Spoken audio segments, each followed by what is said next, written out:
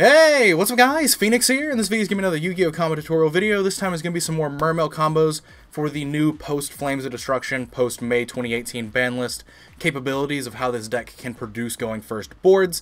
Now, what I'm going to be showing you today is some more extensions upon what I showed you in the previous day's video. It's the same sort of ending board of Gryphon, Firewall, Bahamut, and Toad, but it's some different ways to get to it, and also some different executions of different ways the combo can be expanded upon. Now, what I like to do for these combo sequences that I show you is I like to get as much value out of as few cards as possible invested in terms of cards played from hand. That's why I show a lot of 2 and 3 card combos and don't really expand upon them that much, even though the expanding factors could be things that you play a lot of copies of, like Nimble cards, Swap Frogs, stuff like that or other cards in different decks. But these combos that I'm going to show you are things that are very easily expandable by other factors that might be in your hand alongside the starting cards. And if structured correctly, you could easily expand upon these plays further than I show you by doing things like making more copies of Toadally Awesome with the Frog Engine or linking up into more cards through the Nimbles. As long as you hit specific points of the combo sequence correctly in terms of when you're able to drop Mulin, when you're making your Tomahawk, how you're structuring the value of the monsters on your board, a lot of things are pretty much expandable indefinitely depending on what your resources are. So, while I understand the combos can go further if you include nimble monsters, or can go further if you include these, I'm trying to show you exactly what you should be looking at as far as a bare minimum of what you can expect to do with very simple, very low impact, low investment uh, sort of investments into the play.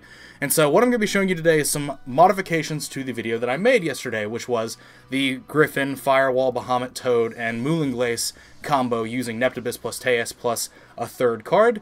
Basically, off the new Forbidden Limited list, we have a third copy of Atlantean Dragoons at our disposal, and so you may think that Dragoons is not as good to open as Neptabyss in terms of how these combos get structured, but actually it's just a little bit better in most cases, and it's definitely as good as Neptabyss, so this deck actually has a lot of ways that it can actually play with more varied hands now, because in the previous formats with two Dragoons, if you opened like Dragoons Teus, it was a lot harder to do those kinds of plays and structure them around, because of the fact that Neptabyss wasn't triggering two Dragoons. You'd have to use a Dragoons to get Neptabyss, and then it would send Dragoons and add like a heavy infantry or something, and that was not as ideal as what we can do now. So what I'm going to be showing you is a variation of the video that I made yesterday, and it was just going to be too long if I included this stuff in yesterday's video, but I'm going to be showing you the openings involving Dragoons and Teus and what they end up yielding in terms of identical boards and in sometimes better sequencing. I'll definitely be showing you that in the expanded form of the combo I'm going to show you after this first original one. But So the previous combo, what this is going to be uh, mimicking is the Neptabyss plus Teus plus any water monster combo, the first combo from yesterday's video.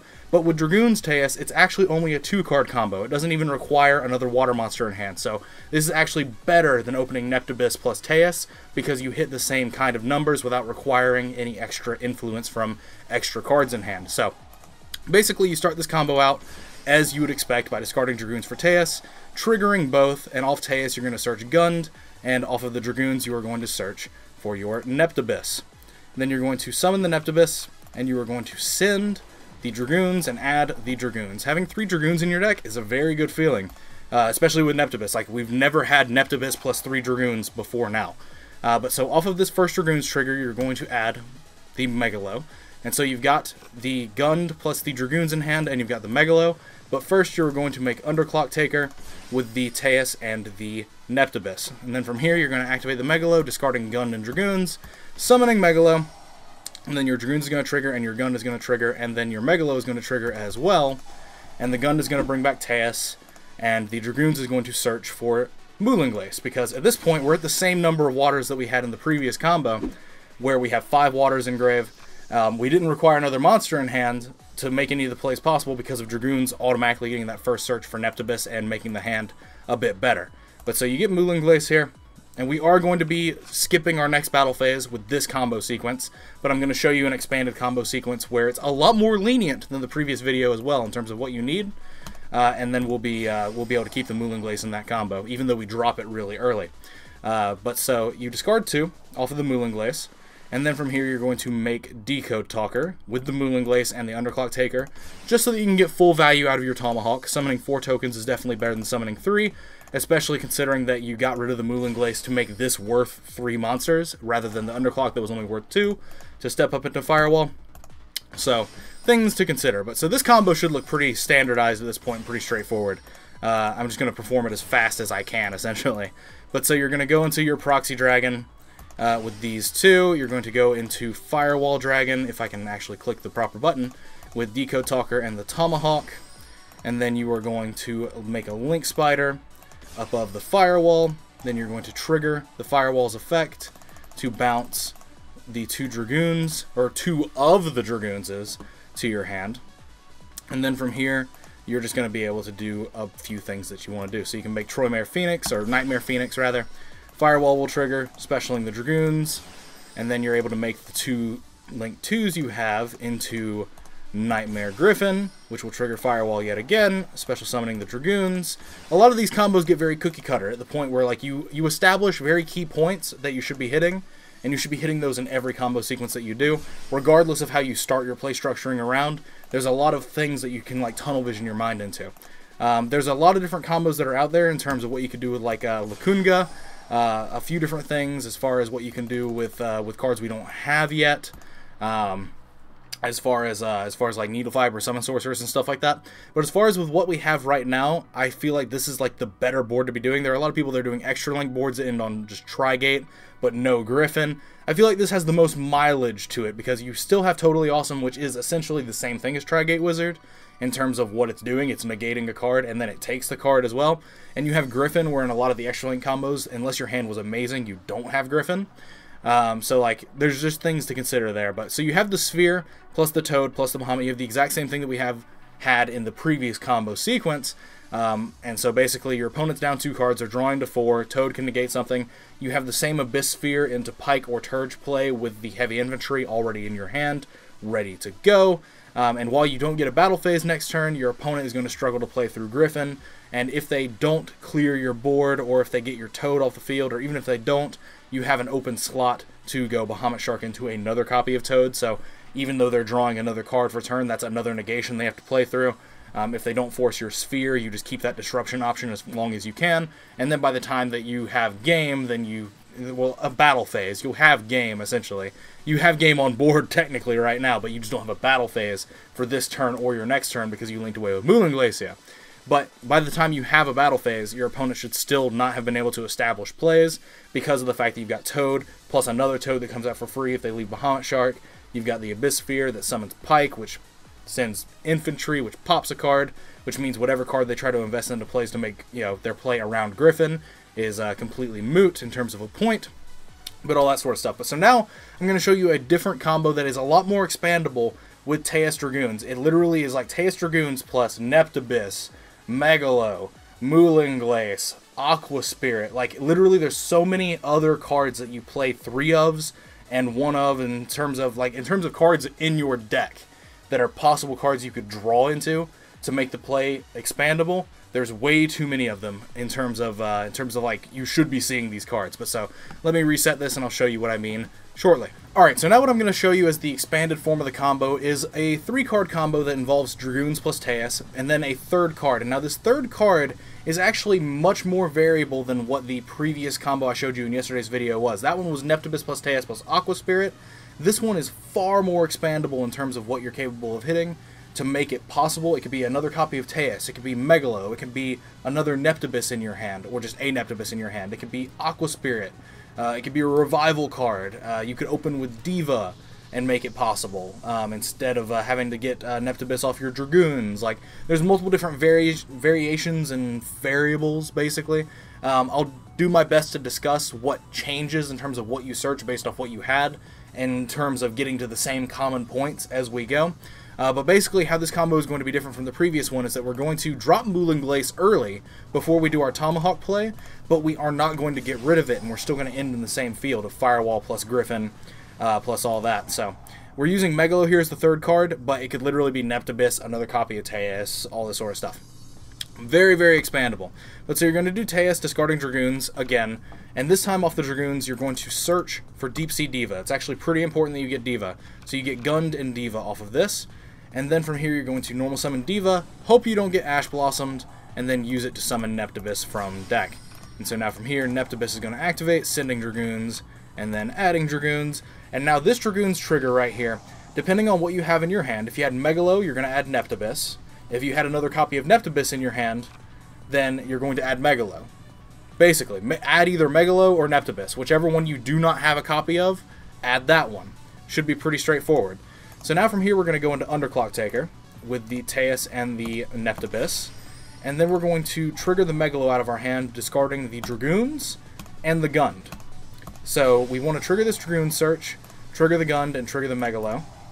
The Megalo will get us our Sphere, the Gund will bring back Teus, and then Dragoons is going to get our Moulinglace after this all resolves. So we're going to grab Moulinglace at this point.